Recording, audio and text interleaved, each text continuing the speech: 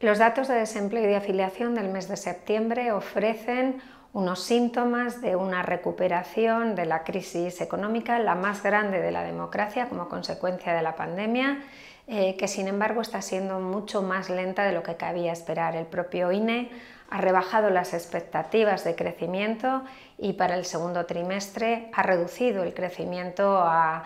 bastante más de la mitad de lo esperado. Por lo tanto, máxima prudencia. Eh, los datos del mercado laboral también ofrecen algún síntoma eh, eh, importante, así el crecimiento del sector público y su efecto tractor es infinitamente superior al, crecimiento del sector privado, eh, más de 214.000 puestos de trabajo creados en el mes de agosto por el sector público frente a los menos de 61.000 del sector privado, por lo tanto, como decimos, prudencia.